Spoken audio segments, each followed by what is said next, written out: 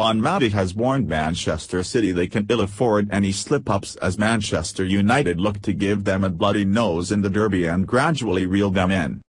Pep Guardiola's informed side make the short journey to Old Trafford on Sunday, when Jose Mourinho's second-place Reds will attempt to end the rivals' unbeaten Premier League run.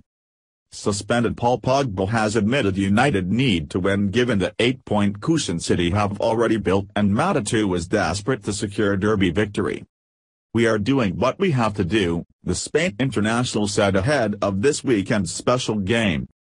We would love to be first in the table right now but I think we are doing lots of good things. Now, especially on Sunday and during Christmas time, which we all know how difficult it is to win every single game. We need to keep that pace if we want to be in a position to challenge for the title at the end of the season. Hopefully we can do it. United certainly boast the strength and depth to maintain their title challenge heading into a testing festive period. City have had to dig deep to eke out victory in recent matches and Mourinho's men are ready to capitalize on any drop-off. We need to look at the bigger picture, the attacking midfielder said.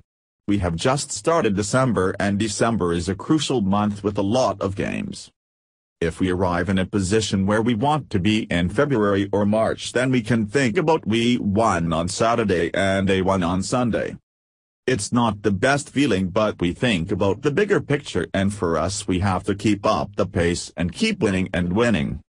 It's very difficult, especially in the Premier League. When you play Watford, Stoke, West Ham away or whatever it's very difficult to win every single game and we need to be ready if they drop points. Guardiola's City have been priced as short as 116 to lift the Premier League while United are 10-1 with bookmakers and some pundits who have already given City the title. Most of the pundits who have played football and they know how football can change, Mata said. I remember a few seasons ago when United were ahead of City and then they won by goals. It's a crazy league and it's too early to think that it's finished. From City they will tell you the same. Mata was not getting involved in talk of compatriot David Silva potentially missing Sunday through injury, saying with the laugh we know about that when asked about potential City mind games. However, from United's end there is no disguising the absence of Paul Pogba through suspension and the impact that will have. Yeah, big miss, Mata added after the 2-1 defeat of CSKA Moscow in the Champions League. He's a fantastic player. He did a fantastic assist, on Tuesday. He's a very complete midfielder, he can do all things. He will be a big miss but another player will play and try his best.